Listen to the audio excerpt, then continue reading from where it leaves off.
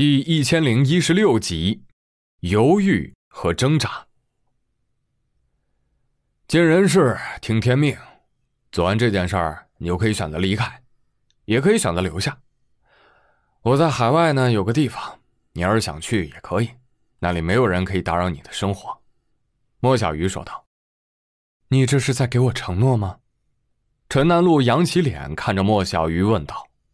“算是吧。”你既然肯为我做这件事儿，那我们就是一条线上的蚂蚱。无论怎么说，这点道义我还是会讲的。”莫小鱼微笑着说道。陈南路以为莫小鱼会对自己做出一些难以忍受的事儿，比如动手动脚，但是没有，他的手一直按在他的肩上，一动不动。只是陈南路感觉到了莫小鱼手上的力量。随着莫小鱼的话，他的手在不断的加力。有一刻，自己实在是不能忍受了，差点叫出声来。但是，这和当时穆正奇折磨自己时的疼痛相比，也就是小儿科。他清楚的记得，自己住院的那段时间，每当夜幕降临时，他都会感觉到末日来临，因为穆正奇会来到医院里，在他大腿内侧最娇嫩的肌肉上狠狠的拧上几把。那种疼痛是可以预见的。因为每次都是如此。一段时间之后，自己的大腿内侧已经是青紫一片，但那个地方谁能看到呢？所以，这种可以预见的痛苦让人心悸，有时候真的都喘不上气来。莫小鱼手上的力道有分寸，这完全不像是在折磨自己，相反，通过这种力道，使他获得了力量感。对，就是这种感觉。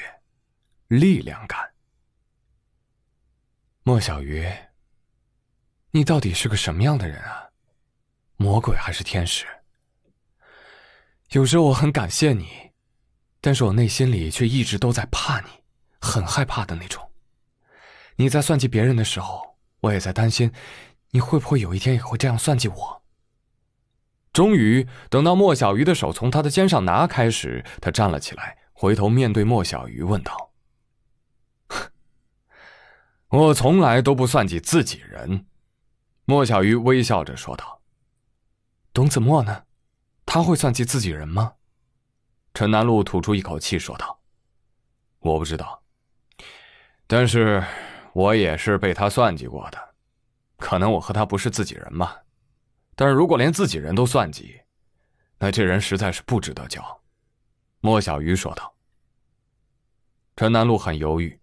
不知道自己这么做到底对不对。他看着莫小鱼，直到被看的实在是不好意思了，才低下了头。他把自己的第一次给了穆正奇，把自己精神出轨的第一次给了董子墨，一次被动，一次主动。难道自己要主动一次吗？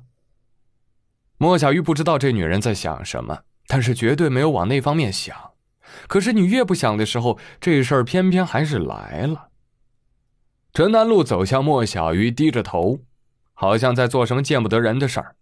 但是这事儿确实又见不得人，自己怎么学会主动出击了？自己不是很害怕他吗？可是，在这一刻，自己的胆子却大了起来。他的手抬起来，虽然像是绑着千斤重的铅块，但是却使出了浑身的力气，终于抓住了莫小鱼的领带。怎么，有事儿啊？莫小鱼感觉到陈南路有点摇摇欲坠的样子，双手扶住他的肩膀，问道：“陈南路像是下足了决心，抬起头，泪眼迷离的看着莫小鱼，像是泫然欲滴，又像是春潮泛起。怎么了？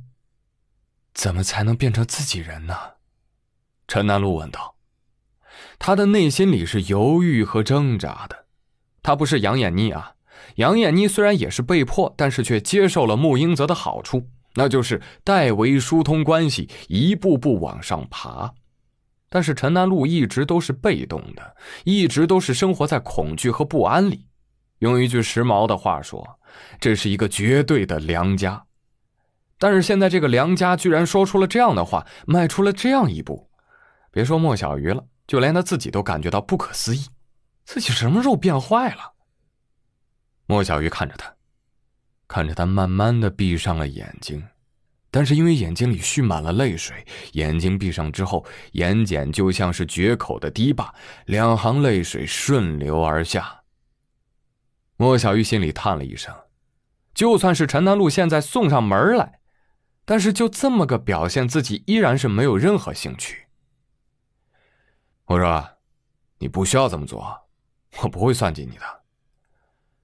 说来说去啊。是你的命太苦了，我可不想在你这伤口上撒盐，也不想让你迫于无奈做这样的选择。好好休息吧，有什么事儿及时通知我。”莫小鱼说道。说完，就松开了紧紧靠着自己的陈南路，转身要走。但是没想到，今天系领带啊是一个绝对的错误，居然被当成了狗带。陈南路不松手，莫小鱼就走不掉。无奈。莫小鱼只能是后退一步，看着他说道：“我说过了，你真的不需要这么做。我能理解你怎么想的，但是我信任你，你信任我，这就行了。有必要走那一步吗？有。你是不是嫌弃我？嫌弃我被……陈南路想说自己被那个死老头子糟蹋过，但是话没说完，就被莫小鱼用手捂住了嘴。”哎呀，你这又是何必呢？莫小鱼没好气的说道：“从你打电话叫我来上海，我就准备好了这一天。现在不是一个好机会吗？我说过，男人出轨多半为色，女人出轨多半为情。我虽然没有爱上你，但是至少你给了我安全感。董子墨能帮我，但是却没把我从火海里拉出来。是你把我拉了出来。”虽然是交易，但是我很感激这样的交易。我都这样了，你还没有理解我的意思吗？陈南路说道：“我要的是钱，没想着破坏你的家庭。既然穆正奇现在对你不错，何不将错就错呢？也算是给他一个机会。无论是真的还是假的，日子不就是这样真真假假过来的吗？”莫小鱼说道。我发现男人有时候废话也特别多。